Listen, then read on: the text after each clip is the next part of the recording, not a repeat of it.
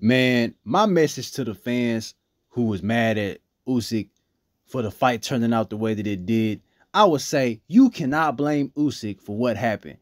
He cannot make the referee do what the referee did. That's all on the referee. If you mad at anybody, be mad at him. You can't be mad at Usyk for getting hit and the ref, as soon as Dubois landed that shot, he calls a low blow.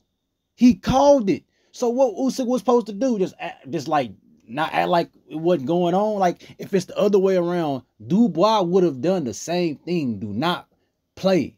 Stop playing around, bro. So any any any frustration that you do have, it's got to be towards the boxing commission, not not Usyk, not the fighter who is just playing the game.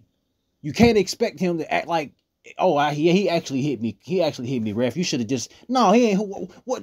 He's not. That's hit. A true competitor would not do that, bro. Like, come on, man. So this whole thing is ridiculous. Dubois had enough time to to still win the fight. He should not have let that dictate the whole entire fight when it was so early in in in in, in the fight, bro. So if you're gonna be mad at anybody, either be mad at the referee or be mad at Dubois for not getting the job done.